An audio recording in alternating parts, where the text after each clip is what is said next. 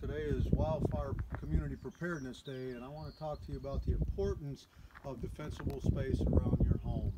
Looking at the importance of the actions you take uh, as a homeowner around your structure to harden your structure and create these defensible space to allow time for firefighters to successfully engage and, and save your home.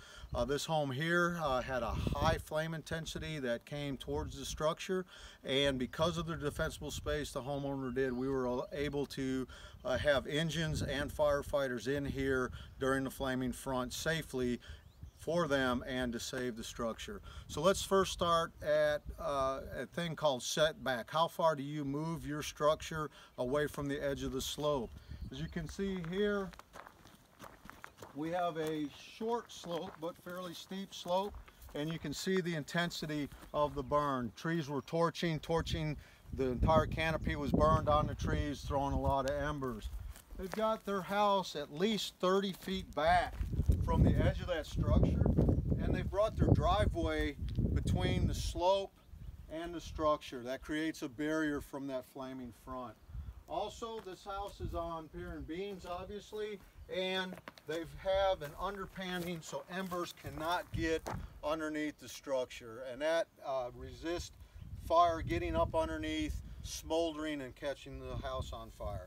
They've maintained the grass between the driveway and the edge of the structure very low, and as you can see, this grass is much greener than the grasses that are out there, so this has been watered. Also note a hose that they have had here and they've left uh, in case fire comes along or because they were watering the grass. So all good points and all easy things a homeowner can do.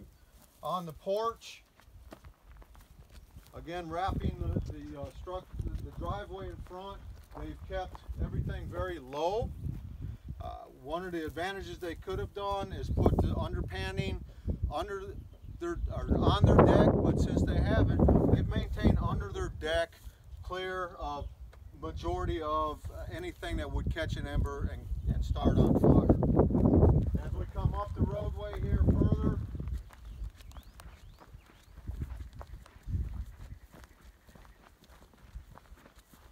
they've kept a clear defensible space close to their structure, 30 foot setback, and at least 60 feet where they have limbed and trimmed the trees up.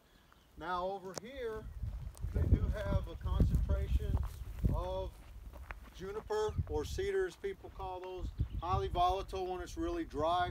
Like we had on this fire, you can see the torching that went on where it completely consumed that canopy.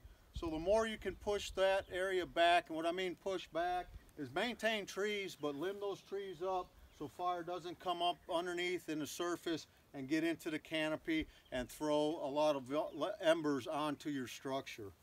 As we look around the back side of the structure, up and away, they've maintained it very clear again, creating that defensible space. Uh, we will look at some photos